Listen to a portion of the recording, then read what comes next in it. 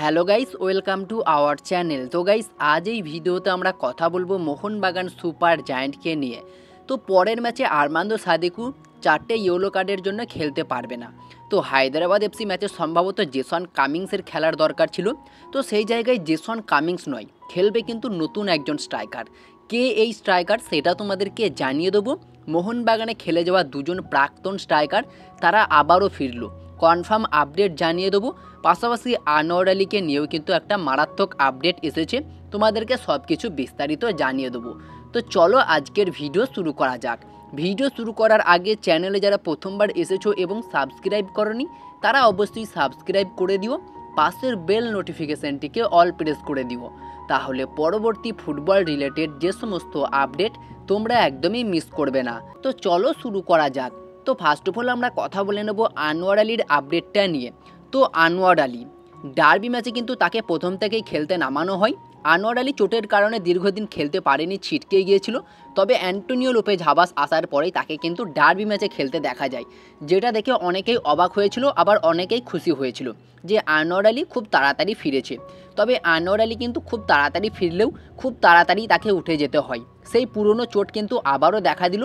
খুব তাড়াতাড়ি ম্যাচে মাত্র চোদ্দ মিনিটের মাথায় উঠে যেতে হয় আনোয়ার আলীকে। আর সম্ভবত তিনি কিন্তু ছিটকে যেতে চলেছে। তবে কতদিনের জন্য ছিটকে যেতে চলেছে? পরের যে ম্যাচ দুটো রয়েছে মোহনবাগানের, একটা হচ্ছে হায়দ্রাবাদ এফসি আর একটা হচ্ছে এফসি গোয়া। সম্ভবত এই দুটো ম্যাচেই খেলতে পারবে না আনোয়ার আলী এবং তারও বেশি হতে পারে। মোহনবাগানে সদ্য যোগ দিয়েছে নতুন ফিটনেস কোচ এবং তিনি কিন্তু আজ রাত্রি নটা নাগাদ এই আপডেটটা জানিয়ে দেবে আনোয়ার আলী এবং ব্রেন্ডন হ্যামিল তারা কতদিনের জন্য ছিটকে যেতে পারে? কতগুলো ম্যাচ খেলতে পারবে না? কতদিনের জন্য রেস্ট নিতে হবে? সমস্ত কিছু ডিটেলসে জানিয়ে দেবে। তো আমি জানতে পেরে গেলেই তোমাদেরকে পরের ভিডিওতে অবশ্যই জানিয়ে দেবো। তো আনোয়ার আলীকে নিয়েও কিন্তু এই ভয়টাই ছিল যে আনোয়ার আলী হয়তো আবারও ছিটকে যেতে পারে। তো দেখা যাক আনোয়ার আলী কত দ্রুত ফিট হয়ে আবারও ফিরে আসতে পারে। পরের দুটো ম্যাচের পরেই তাকে আমরা দেখতে পাই কিনা? মোহনবাগানের জার্সিতে। এটার দিকেই আমাদের নজর থাকবে। তবে সেভাবে কিন্তু খুব একটা গুরুতর ইঞ্জুরি যে হয়েছে সেটা দেখে কিন্তু বোঝা যাচ্ছে না আনোয়ার আলী এবং ব্রেন্ডন হ্যামিলকে। কারণ ডার্বি ম্যাচের পর তারা কিন্তু পায়ে হেঁটেই মাঠ ছেড়েছে। তো এটা নিয়ে কিন্তু অনেকটাই স্বস্তির নিঃশ্বাস থাকলেও এখনও পর্যন্ত টেকনিক্যাল কোচ যিনি এসেছেন, তিনি কিন্তু এই আপডেটটা জানাতে একটু দেরি করছেন। তো দেখা যাক তিনি কখন ফাইনাল আপডেট দেয়। আর ফাইনাল আপডেট এসে গেলে তোমাদেরকে জানিয়ে দেবো। আর এরপরে আমরা কথা বলে নেব মোহনবাগানের দুজন প্রাক্তন বিদেশি স্ট্রাইকার যারা একসময় মোহনবাগানে খেলে গিয়েছেন তো প্রথম যে স্ট্রাইকারটার নাম বলব সেটা হচ্ছে হেনরি কিসেকা। আর হেনরি কিসেকা একজন চৌত্রিশ বছর বয়সী উগান্ডার সেন্টার ফরওয়ার্ড, বর্তমান মার্কেট ভ্যালু চল্লিশ লাখ টাকা। তো দু হাজার আঠেরো উনিশ মরসুমে মোহনবাগানের হয়ে খেলে গিয়েছে এই উগান্ডার সেন্টার ফরওয়ার্ড। বর্তমান সময়ে তিনি উইদাউট ক্লাবে ছিলেন এবং এই মুহূর্তে তিনি আরও একবার ফিরে আসলেন আই লিগেরই ক্লাব রিয়েল কাশ্মীর এফসিতে তো রিয়েল কাশ্মীর এফসিতে কিন্তু এই হেনরি কিসেকা উগান্ডার সেন্টার ফরওয়ার্ড তিনি কিন্তু যোগ দিতে চলেছে এবং এই স্ট্রাইকারের সঙ্গে রিয়েল কাশ্মীরের একটা স্ট্রং রিমোট বেরিয়ে এসেছে। তো দেখা যাক, শোনা যাচ্ছে, ডিলটা ডান হয়ে গিয়েছে। পরবর্তী সময়ে অফিসিয়াল অ্যানাউন্সমেন্ট হয়ে গেলে তোমাদেরকে জানিয়ে দেবো। এর পাশাপাশি রিয়েল কাশ্মীর এফসি শুধু এই স্ট্রাইকারকেই নয়, আরও একজন স্ট্রাইকার যিনি মোহনবাগানের হয়ে খেলে গেছেন দু হাজার সতেরো আঠেরো মরসুমে। আর যার নাম হচ্ছে কাম্য বাই। আর কামো বাই একজন সাতাশ বছর বয়সী সেন্টার ফরওয়ার্ড বর্তমান মার্কেট ভ্যালু আশি লাখ টাকা। বর্তমান সময়ে তিনি উইদাউট ক্লাবে রয়েছেন। শোনা যাচ্ছে তাকেও কিন্তু দলে নিতে চলেছে। তো মোহনবাগানের দুজন প্রাক্তন স্ট্রাইকার এই জোড়া স্ট্রাইকারকে কিন্তু রিয়েল কাশ্মীর অ্যাডভান্স স্টেজে কথাবার্তা চালাচ্ছে। শোনা যাচ্ছে ডিল ডান হয়ে গিয়েছে। তবে এখনও পর্যন্ত অফিসিয়াল অ্যানাউন্সমেন্টটা বাকি রয়েছে। তো দেখা যাক কবে অফিসিয়াল অ্যানাউন্সমেন্টটা হয়। তো মোহনবাগানের দুজন প্রাক্তন বিদেশিকে আমরা আবারও ইন্ডিয়ায় ফিরে আসতে দেখলাম। তো সনি নডি ফিরে আসলে আমরা অবশ্যই অনেক খুশি হতাম। তো বর্তমান সময়ে সনি নডি, তিনিও কিন্তু উইদাউট ক্লাবেই রয়েছে। তো তিনিও যদি ইন্ডিয়াতে আবারও ফিরে আসতো, সেক্ষেত্রে অনেকটাই খুশি হতাম আমি।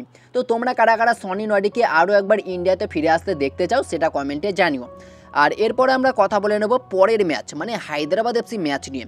হায়দ্রাবাদ এফসি ম্যাচে আরমান্দ সাদিকু তো কার্ড সমস্যার কারণে খেলতে পারবে না। সম্ভবত তার পরিবর্তে খেলোয়াড় হিসাবে রয়েছে বিশ্বকাপার জেসন কামিংস। আর বর্তমান সময়ে জেসন কামিংসের পারফরমেন্স তোমরা দেখতেই পাচ্ছ। একদমই বাজে বললেই চলে, খুব একটা ভালো পারফরমেন্স করতে পারছে না। হিউজ পরিমাণ অর্থ খরচ করে তাকে দলে নিয়ে এসেছে এবং বর্তমান সময়ে তার পারফরমেন্স কিন্তু খুবই জঘন্য।